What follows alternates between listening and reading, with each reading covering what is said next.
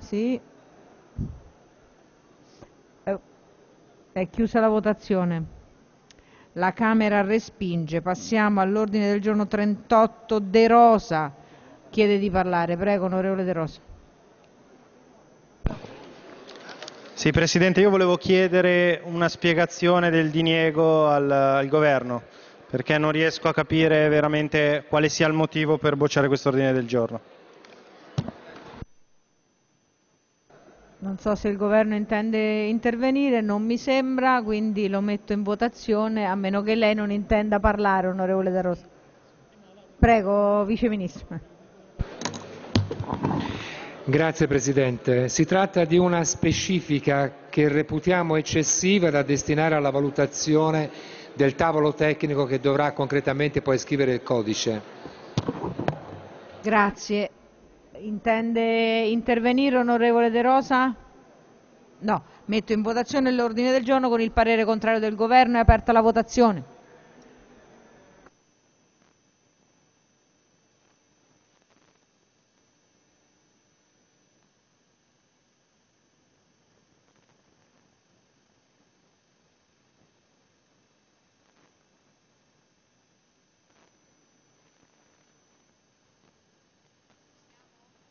Ci siamo? No. Giordano Giancarlo, ma c'è il tecnico. Di qua è a posto. Quando ha votato Giordano chiudiamo la votazione. Bordo Franco? Ha votato? Ok. È chiusa la votazione. La Camera respinge. Passiamo ora all'ordine del giorno 39 Daga. Parere contrario del governo. È aperta la votazione.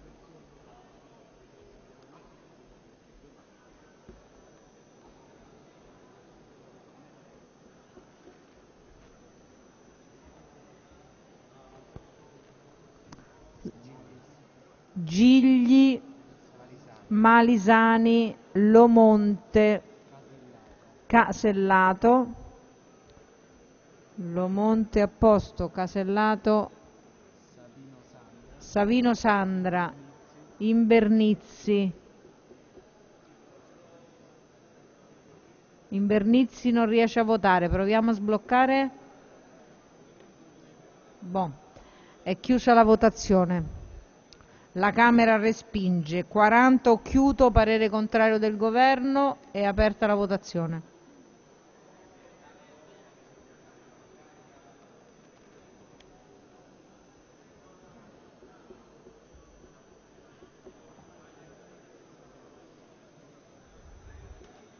Cassano. Baruffi. Casellato, tolga quello che c'è dentro e voti. Bene. Tripiedi ha votato, visto salire, mi pare di sì. È chiusa la votazione. La Camera respinge. 41 Crippa che chiede di intervenire. Prego, onorevole Crippa. Grazie Presidente. Chiedo di riconsiderare il parere su questo ordine del giorno perché non fa altro che riprendere anche le considerazioni già espresse sul tema delle certificazioni energetiche e eh, degli attestati di certificazione energetica che hanno posto altri deputati all'interno di strumenti quali interrogazioni.